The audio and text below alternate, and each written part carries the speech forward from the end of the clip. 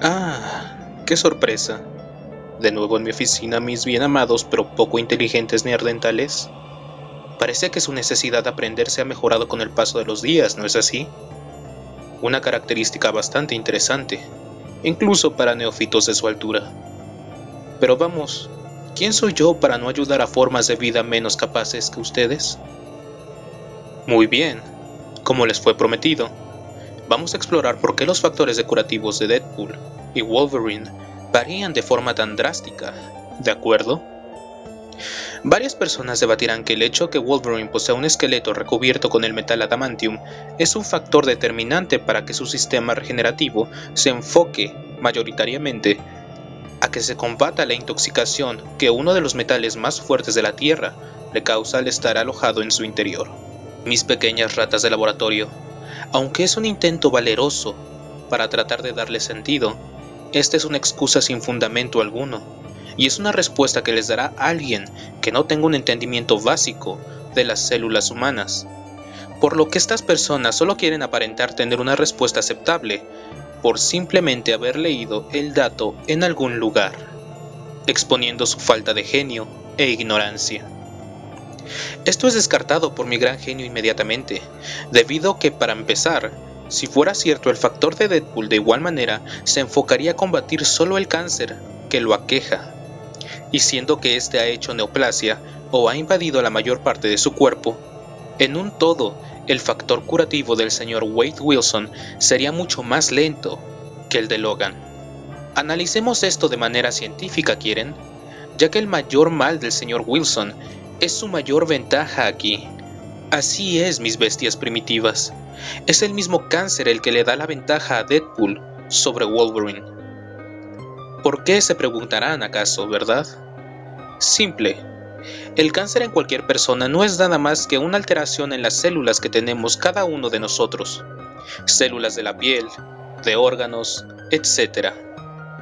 Esta alteración es una malfunción de las células afectadas, causando que cuando se reproduzcan, las células hijas sean malformaciones genéticas, como ustedes. El punto principal aquí es que su proliferación o reproducción se acelera de igual manera. Es por eso que el cáncer puede de un momento a otro tornarse agresivo, inmortal. Presten atención, su reproducción se acelera. El cáncer en sí no es una enfermedad, sino una mutación. Es por ello que el factor curativo de Wade Wilson no puede eliminarlo, porque se tornó parte de sí mismo. Otro punto por el cual su apariencia física no puede ser restaurada. Así que si han puesto atención mis primates, la suma de células que de por sí ya tenían una reproducción muy grande, más un factor curativo que estimula las células del huésped para que sean reproducidas en gran cantidad y regenerar así tejidos y órganos casi al instante, nos da como resultado un banco de órganos muy, muy sustentable.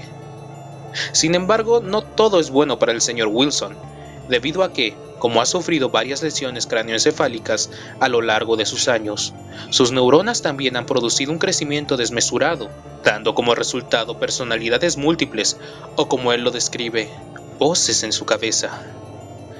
Dios mío, cómo me gustaría estudiar a este espécimen más a fondo. Así, por unanimidad, el primate más adaptado es Deadpool. Espero que hayan entendido lo suficiente para salir de su ignorancia, mis pequeños neófitos. La clase terminó, y espero que su ansia de entender más el mundo sea suficiente para atender a otra de estas. Ahora, si me disculpan, hay murciélagos que debo sacar de mi campanario.